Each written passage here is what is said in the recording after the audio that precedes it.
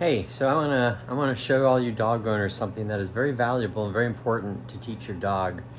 So one of the problems that a lot of a lot of dog owners face is um, dogs snatching things out of your hand, um, and that's a real problem. Like if you have food in your hand or something, they will reach up and snap it out of your hand.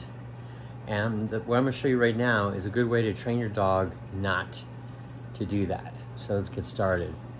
I got Cody here. Come here, bud. Okay, can you do me a favor? Cody, sit. Hey, sit. Good boy.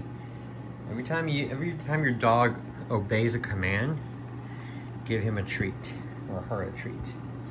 So the technique I'm going to show you today is basically teaching the dog that it is not good and not allowed to snatch things out of your hand.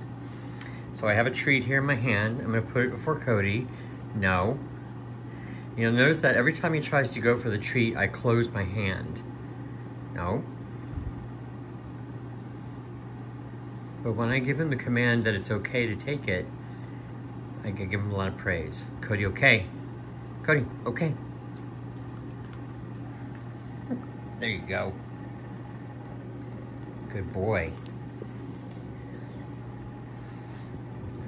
Okay. Cody, sit. Hey. Cody, sit. Good boy. I'm, just not doing really well with these today. Okay, Cody. Ah, nope. So I usually hold your hand with the treat on in the tip on the end of your hand and close the hand every time the dog tries to go for the treat. Cody. Hey, Cody. No. Cody, okay. Good boy. And that's it. It's as, it's as simple as that. If you do that with your dog, like every day, the dog will not be snatching things out of your hand. No. And Cody's really good. Good boy. Okay. Here you go.